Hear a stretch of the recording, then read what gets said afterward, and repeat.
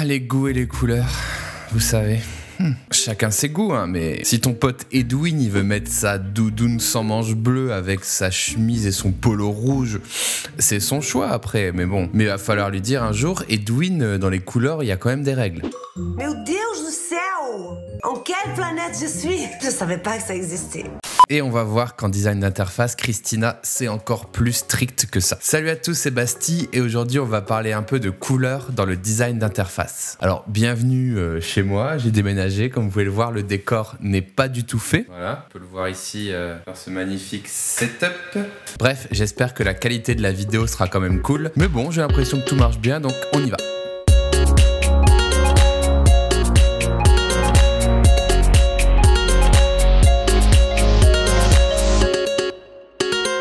Alors aujourd'hui, je vais pas vous expliquer comment choisir des couleurs pour une marque. Donc je vais pas vous apprendre ici qu'on utilise le vert pour la nature, le bleu pour le corporate, le orange pour le discount et tutti quanti. Je laisse le soin à des graphistes qui vous feront des cours ou des vidéos là-dessus. Vous googlez ça, je suis sûr qu'il y a plein de trucs cool. On va partir du postulat que la marque pour laquelle on bosse a déjà son logo, son identité, ses couleurs et qu'on va juste être là pour le design d'interface et qu'on va essayer d'adapter tout ça au digital. Je vais vous donner 5 conseils sur cette thématique, un peu comme ça, au débeauté euh, sorti, euh, sorti de ma botte indirectement. Hein, Et on va commencer en se posant la question suivante est-ce que la charte est adaptée au digital? Alors oui, parce que votre client vous a peut-être passé une charte graphique.pdf. Euh, J'espère qu'il ne l'a pas imprimé d'ailleurs avec les codes couleurs en Pantone et en CMJN. Ça fait plaisir, hein, on connaît bien. Mais on peut se demander si ces couleurs elles sont vraiment adaptées au digital. Alors pour ça, voilà quelques petits trucs à checker. Tout d'abord, est-ce que la couleur principale elle est assez contrastée pour écrire dessus en noir ou en blanc? Et donc de ce fait, est-ce que l'accessibilité des écrans sera respectée? Est-ce que les nuances de gris qu'on vous a passées elles sont exploitables? Et pour finir, est-ce qu'il existe des couleurs secondaires ou complémentaires pour passer des messages dans vos maquettes? Si un de ces points n'est pas rempli, eh bien faites des ajustements, voire créez des choses et proposez-le à votre client. Voilà, vous avez le droit en tant que UI designer d'empiéter légèrement sur une charte graphique qui n'est pas digitale pour justement rajouter cette couche euh, de règles digitales. J'ai un peu modifié la couleur, j'ai rajouté deux gris, etc., etc. Donc par exemple ici, si je prends le vert de Leroy Merlin, je l'ai récupéré dans ce rectangle ici. Si je lui fais passer un test d'accès qu'est-ce qui va se passer? Donc je vais tester si on peut écrire en blanc ou en noir dessus et si les contrastes sont assez euh, poussés pour que les gens puissent le lire et surtout pour que les daltoniens puissent le lire. Donc c'est l'occasion pour moi de vous présenter un plugin qui s'appelle L-U-S-E.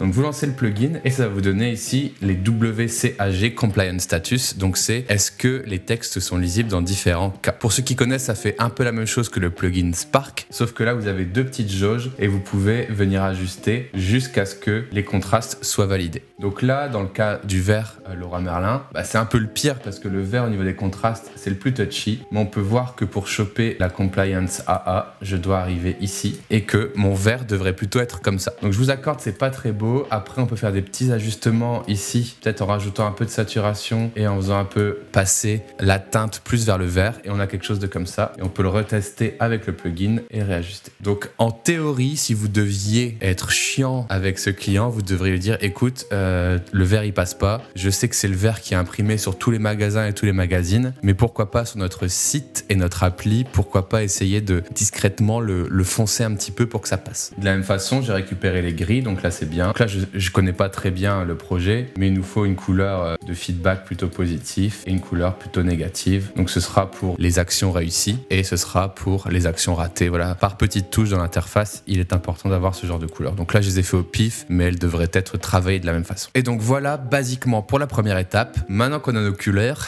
je ne sais pas le dire. Maintenant qu'on a nos couleurs, on va se demander où est-ce qu'on doit les utiliser.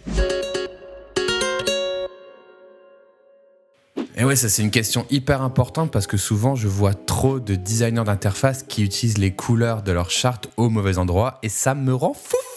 Donc évidemment la réponse où utiliser les couleurs, bah c'est pas n'importe où. Si on utilise n'importe où, ça peut donner ça. Donc ça paraît pas très consistant malgré le fait que j'ai respecté les règles typographiques et les règles d'espacement, mais il y a un truc qui cloche. Encore là, j'ai fait un exemple assez soft parce que sinon vous auriez pu aussi vous retrouver quelque chose de comme ça Bienvenue dans les années 90. On aimait bien mettre la couleur dans le fond, dans les images, dans tout. On mettait dans tout. La couleur. La couleur de notre marque partout. Ça, on oublie. Mon astuce est la suivante. Alors, c'est un petit, euh, petite règle que je m'applique à moi-même, mais je pense qu'elle marche dans 90% des cas. C'est n'utiliser votre couleur principale que dans les éléments interactifs, c'est-à-dire cliquable ou touchable. Regardez, si on applique cette règle à cet écran, voici le résultat. Donc on voit clairement un écran qui est beaucoup plus euh, facile à assimiler. Pourquoi? Parce que dès que je vois ma couleur principale, qui est ici euh, le violet, un peu bleuté, et eh ben on sait qu'il y a une interaction. Pas besoin de mettre la couleur dans les titres. Je vois souvent sur des blogs euh, le, titre mis en orange parce que la couleur principale c'est le orange. Non, non, non. Si c'est orange, c'est cliquable, d'accord. Donc là, le titre en, noir, le sous-titre en gris foncé. Pareil, si on veut cliquer sur les avis, on met 44 avis en couleur et du coup on n'a plus besoin de souligner parce qu'en fait, on voit que tous les éléments qui ont la couleur sont cliquables. Pareil pour vendu par Apple ici. Bah, comme il y a la couleur du cliquable, il y a même besoin de le souligner. Et quand on prend du recul sur la maquette, on se rend compte qu'on voit tous les éléments cliquables qui ressortent et en même temps l'image de marque. Donc c'est super. Vraiment appliquer cette petite astuce, ça marche super bien. Pareil ici euh, pour euh, le CTA secondaire. Donc là, on peut les décliner. Donc pas besoin de mettre deux couleurs de boutons. On peut les décliner en différents niveaux. Donc là, j'ai mis un fond gris et le texte, mais ça peut très bien être aussi pas de fond et un contour. Voilà, ça peut être plein de choses pour les CTA secondaires, mais toujours avec le thème de couleur. Alors vous pouvez faire le test de cette petite règle sur plein de sites connus. Par exemple, si on va sur, je sais pas, Deliveroo, vous pouvez faire l'exercice, rechercher la couleur de Deliveroo et vous verrez qu'elle correspond à des éléments cliquables. Voilà, le picto, le bouton, là-haut, les liens ici et l'utilisateur est juste pas perdu, ça lui permet de savoir. Et ça marche sur euh, la plupart des sites, donc comme je disais, c'est une astuce qui est bonne à appliquer. Après, il y a peut-être quelques cas particuliers où on a de l'illustration, des petits éléments un peu spéciaux, mais dans 99% des cas, couleur principale, élément cliquable. La troisième astuce, je sais pas si elle est très démocratisée, mais j'ai envie que tout le monde le fasse à partir de maintenant. C'est bon? Ok.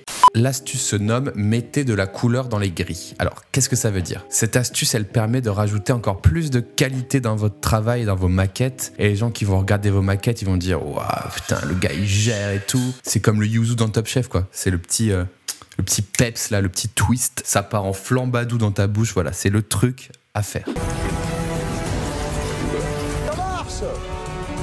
Mis le feu à la scène. Magnifique.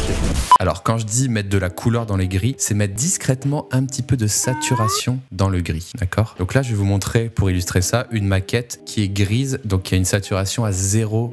Voilà, donc cette maquette est composée d'une couleur principale avec du orange, pourquoi pas, et tous les gris que j'ai mis, donc le gris foncé, moyen et clair, ils sont tous à 0% euh, de saturation. Si on regarde ici, voilà, zéro de saturation. L'astuce, ça va être de rajouter un peu de saturation dans ces gris. Alors comment on fait? On va prendre couleur, on rentre ici et on se met en HSB, donc Hue Saturation Brightness. En français, c'est TSL, teinte, saturation et luminosité et on va juste jouer sur la jauge de saturation. Et donc là, vous voyez que ça décale ma bille vers la couleur. Vous allez me dire, oui, mais est-ce qu'on le sature avec du rouge ou autre chose? Donc là, il y a deux solutions. Soit vous le teintez de la même teinte que la couleur principale, donc ici, on va le mettre sur orange et on va faire un, gris orange foncé, d'accord? Ou alors, vous allez plutôt chercher une couleur complémentaire à la couleur principale. Donc là, on va faire un bleu foncé. Voilà, c'est les deux possibilités. Soit vous allez chercher la même couleur. Si vous avez une couleur principale orange, vous aurez un, gris marron-orange, ou alors l'inverse pour trancher. Donc si vous avez un orange, vous avez un gris bleuté. Et donc c'est ce que j'ai fait dans cet exemple. Et regardez ce qui se passe. Donc là, j'ai décidé d'avoir un gris plutôt bleuté, parce que je trouve que ça fait mieux ressortir le orange. C'est plus moderne. Et si je vous présente les deux maquettes côte à côte, vous pouvez me contredire, mais moi je trouve que c'est beaucoup plus moderne et beaucoup plus frais, et ça apporte quelque chose. Et si on regarde les couleurs que j'ai utilisées ici, j'ai de la saturation à 44% dans mon noir, j'ai 8% dans mon gris et 3% dans mon blanc. Donc attention, ne saturez pas trop les blancs et saturez plus les foncés, ça s'équilibrera mieux. Et dernière petite chose, jamais de noir 0000 dans vos maquettes, toujours un gris foncé. Voilà, on évite de mettre des textes noirs ou des blocs noirs. Voici les petites astuces pour faire un petit design beaucoup plus frais. Voilà, j'espère que ça vous plaît aussi et que c'est pas uniquement personnel cet avis sur les gris. Alors quatrième astuce, bah, c'est comment on va décider des couleurs complémentaires, tout ça, tout ça. Je suis un peu perdu, Bastille, dis-nous. Là, je vais pas vous aider parce que je suis pas un professionnel non plus. Moi, j'aime bien aussi le faire au feeling. Je teste des choses, je m'inspire de choses. J'ai aussi euh, pas mal de, de ressentis. hein. Je regarde, j'aime bien, j'aime pas, ok. Mais si vous voulez avoir des ressources, il existe pas mal d'outils qui font ça, donc je vais vous les montrer rapidement. Le premier que j'ai sélectionné pour vous, c'est color.adobe.com. Tout simplement, vous allez pouvoir euh, jouer avec des roues chromatiques. En gros, ça ressemble à ça. Donc vous allez choisir une couleur principale au centre ici, et ça va vous proposer des couleurs euh, ambiantes, euh, plutôt bien harmonisées par espacement. Donc si vous écartez, vous êtes sûr que toutes les couleurs auront un espacement identique, ce qui créera une sorte d'harmonie. Donc vous pouvez beaucoup jouer avec cet outil pour vous inspirer, chercher un petit peu les thèmes qui vous plaisent. Vous avez plusieurs types de roues, monochrome, triade, complémentaires. Je vous laisse découvrir un petit peu tout ça. Vous avez aussi la possibilité de glisser un fichier et d'extraire le thème. Donc là, euh, si je me prends en photo par exemple, tac, et que je glisse cette magnifique photo. Voilà, il m'extrait les couleurs dominantes. Donc il y avait le focus de ma caméra dessus, donc voilà. Mais en gros, voilà, je peux extraire le thème de, du personnage de Bastille. Voilà, vous avez l'ambiance de la couleur et vous pouvez l'enregistrer. Pareil pour les dégradés, vous pouvez extraire des dégradés. Et aussi les outils d'accessibilité qui sont pas mal aussi pour se rendre compte euh, les couleurs qui vont rentrer en conflit pour les daltoniens avec ces petits traits qui viennent se tracer. Et quand on voit des traits qui se coupent, c'est là où il y aura euh, des conflits qui vont se créer. Donc ça, c'est assez intéressant. Je vous laisse jouer avec, c'est plutôt marrant. Et le dernier onglet, jeu de couleurs. Alors ça, j'étais assez déçu. Je pensais que j'allais avoir un jeu où je devais deviner les couleurs, mais en fait, c'est juste un, un Simon.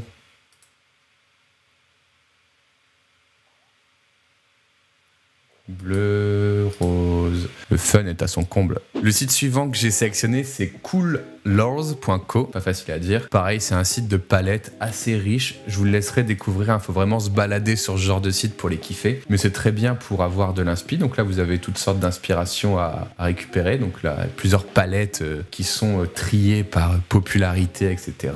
Donc là, on voit tout de suite l'illustration qu'on peut faire avec. Ça, c'est très vintage. Ça, c'est très coucher de soleil. Voilà, vous pouvez vraiment déjà dégager des ambiances en respectant ça. Mais le plus intéressant, c'est le générateur. Et là, c'est vraiment pas un générateur en mode qui va vous donner des solutions, mais qui va vous donner de l'inspiration tout en étant toujours harmonieux. En gros, vous appuyez sur la barre d'espace et ça génère des palettes harmonieuses en suivant des règles, on va dire, aléatoires. Et donc là, si à un moment vous flashez sur une couleur, vous dites, ah, celle-là, il me la faut absolument, vous mettez le petit cadenas et vous continuez. Et il vous donnera des couleurs harmonieuses en fonction de celle-ci. Toujours avec différentes règles. Là, j'ai il me faut absolument ce vert et ce rose. Par contre, après, il me faudra des trucs plus tranquilles. Ah, c'est bien ça. Ah, c'est pas mal. Et vous terminez peut-être avec un blanc. Et voilà, j'ai choisi ma palette. Donc c'est vraiment un outil pour de l'idéation un petit peu euh, autour des couleurs et vous l'exportez. Il y a plein d'outils. euh, vous pouvez regarder un peu les, les différents daltonismes. Donc là, euh, regardez cette couleur-là. Vous voyez commence à pu avoir la même rendu. C'est super pratique. Et donc là, on voit que toutes mes couleurs sont différentes une fois passées en gris. Donc c'est que c'est plutôt réussi. Et le dernier outil, un tout petit peu plus technique mais assez sympa, c'est le Color Tool de Material Design. Et là, tout simplement, vous allez venir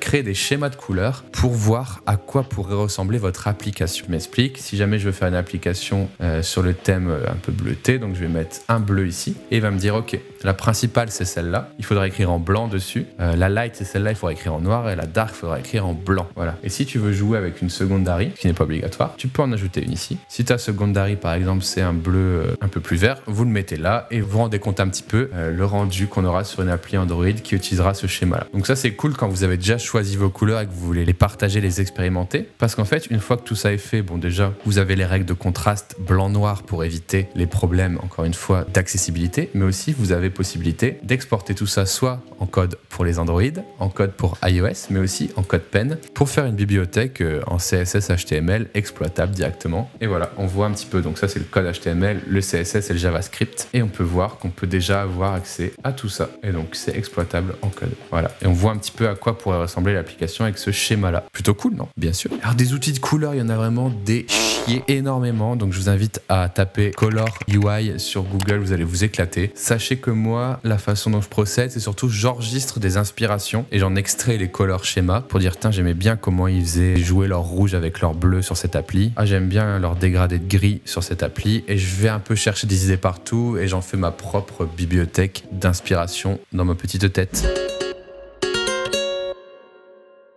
La dernière astuce du jour, c'est comment décliner ces couleurs pour faire de l'illustration. Parce que souvent quand on fait de l'illustration, il nous faut un peu plus de couleurs, une gamme un peu plus poussée pour décliner sans dénaturer. Et donc là, c'est une astuce qui se passe sur Illustrator. Donc évidemment, vous pouvez utiliser un des nombreux outils web que je vous ai montré juste avant pour faire ça, mais je vais vous montrer un petit peu la méthode artisanale sur Adobe Illustrator pour faire ça. Donc voilà, imaginons que vous ayez une couleur principale comme ceci et une secondaire comme cela. Et vous voulez voir ce qui pourrait se passer entre les deux de façon harmonieuse. L'idée, c'est d'utiliser l'outil Blend. Vous sélectionnez vos formes, vous faites Object, Blend et Blend Option. Et donc là, vous allez choisir combien d'étapes entre la forme 1 et la forme 2 il va y avoir. Donc vous n'allez pas mettre smooth, vous allez choisir nombre d'étapes. Et donc si vous voulez 8 couleurs, vous mettez 8. Si vous voulez 4, vous mettez 4. Donc moi j'en mets 4. Et vous allez retourner dans Blend et vous allez faire Make. Et donc là, il vous a généré toutes les couleurs intermédiaires entre les deux. Donc là, on a vraiment ça. Si vous voulez récupérer ces petits carrés, parce que là aujourd'hui ça reste groupé, vous faites un clic, vous faites Object, Blend, Expand. Et là, ça expand et vous avez